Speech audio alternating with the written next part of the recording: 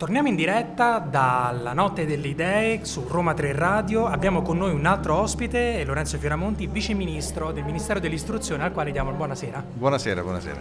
Allora, prima di tutto volevamo chiederle un'impressione su questa serata e sull'importanza di esserci e di organizzare serate del genere. Allora, questa serata è davvero importante, non solo la location fantastica, ma anche la tematica e il modo in cui è stata affrontata, il fatto che siano state invitate tante persone giovani, tanti universitari eh, di diverse culture e la tematica che lega le idee al progetto di una nuova Europa. L'Europa è il nostro continente, noi costruiamo l'Europa ogni giorno siamo in una fase storica particolare, quindi c'è sempre più bisogno di idee innovative. Eh, la storia evolve anche attraverso il coraggio di chi mette in discussione delle tradizioni, magari anche dei concetti passati e cerca di sostituirla con idee che rispondono più, ai bisogni, più direttamente ai bisogni delle persone. Io ritengo che le nuove generazioni debbano fare questo, debbano avere davvero il coraggio di prendere il toro per le corna anche in questo caso e organizzare dibattiti e dialoghi sull'Europa che vogliamo perché l'Europa è nostra e deve eh, sempre di più rispondere a quelle che sono le nostre esigenze come nel, caso, nel mio caso come un, un, un europeo di mezza età e nel caso vostro come giovani studenti universitari. E parliamo proprio di giovani e in particolar modo di scuola. In quale modo la scuola può aiutare alla costruzione di una coscienza europea? Allora, da questo punto di vista la scuola può fare moltissimo, la scuola è, risponde, è gran parte della vita di chi, di chi la frequenta.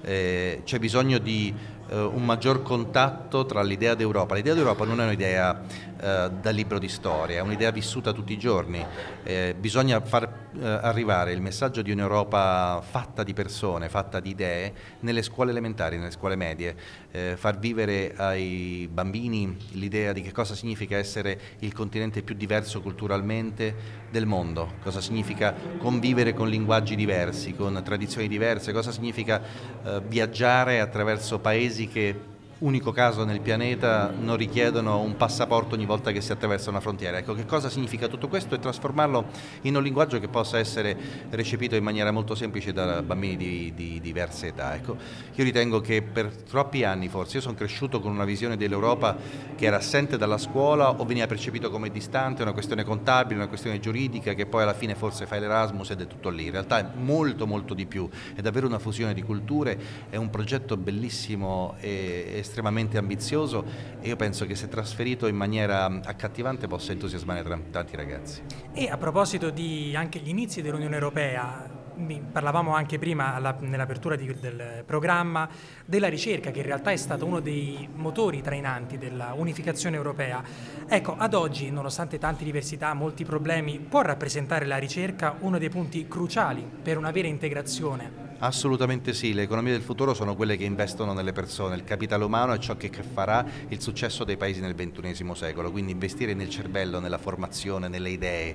nella trasmissione culturale è quello che distinguerà le economie di successo dalle economie che avranno meno, eh, meno successo e quindi la ricerca che già oggi occupa uno spazio importante nella programmazione europea, circa il 10% quella europea de, del, del, del, budget complessivo di tutta la ricerca dei paesi membri. Attraverso anche per esempio programmi come Horizon 2020. Esatto, esatto, Rise Horizon 2020, Horizon Europe, stiamo cercando sempre di più diffondere, ovviamente l'Erasmus è parte anche di questo percorso iniziale all'interno del percorso universitario, può diventare sempre di più perché proprio quell'investimento sul capitale umano, quello che rende la persona il centro dell'economia del futuro. Ecco, questo è, è, il messaggio che io manderei dal punto di vista di un governo, eh, di un paese membro all'Europa, facciamo davvero delle persone il centro della programmazione della ricerca e del modello di sviluppo di questo continente, sempre più le persone, le loro ambizioni, le loro, le loro speranze e magari superiamo a volte quelli che sono degli ostacoli contabili, giuridici che hanno negli ultimi anni contribuito a offuscare il sogno europeo e trasformarlo un po' più con il manuale europeo che non, che non scalda più i cuori.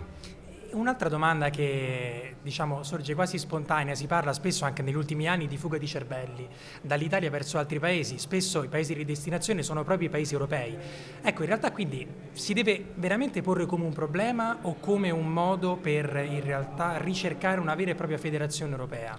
Allora, sicuramente la fuga dei cervelli è una realtà eh, mondiale eh, l'Italia soffre di un problema strutturale suo eh, cui, eh, che è causato da sottoinvestimenti per troppi anni, quindi non possiamo dar la colpa agli altri, questo è un problema tutto italiano. È ovvio che con un'Unione Europea che una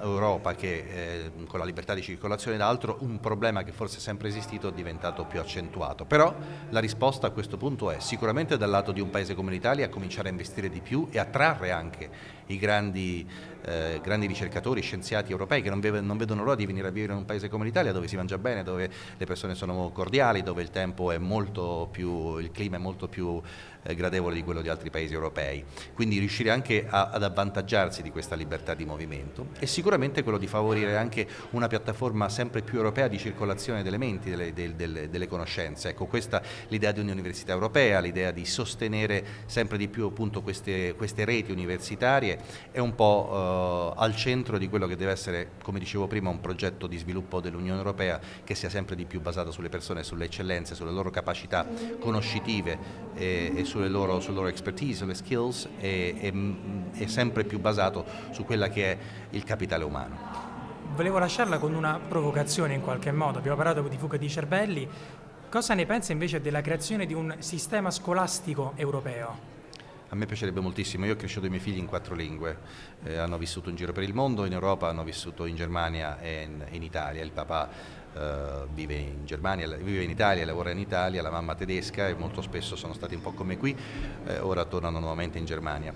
Eh, quello che a me piacerebbe moltissimo è avere sempre più scuole dove la diversità culturale diventa l'elemento trainante, la ricchezza davvero. Io sarà che per la mia esperienza personale di vita ho sempre ritenuto, ho vissuto tra l'altro vent'anni in Africa dove davvero esistono delle culture che noi conosciamo poco e dovremmo apprezzare sempre, eh, sempre di più. E quindi l'idea di poter crescere in una diversità diversità culturale, imparare le lingue in una maniera quasi automatica, senza dover fare alcuno sforzo, capire che la conoscenza non è la tua contro quella di qualcun altro, ma la tua conoscenza e quella di qualcun altro si rafforzano a vicenda. Ecco, farlo nella nuova generazione dei miei figli che oggi hanno 9 anni e 5 anni, secondo me è davvero una scommessa che se riuscissimo a, a realizzarla davvero in Europa saremmo davvero assolutamente il continente con la maggiore prospettiva di crescita e di sviluppo del mondo. Allora noi ringraziamo Lorenzo Fioramonti, Vice Ministro dell'Istruzione per essere stato qui con noi e buon proseguo di serata. Grazie a voi. Grazie mille.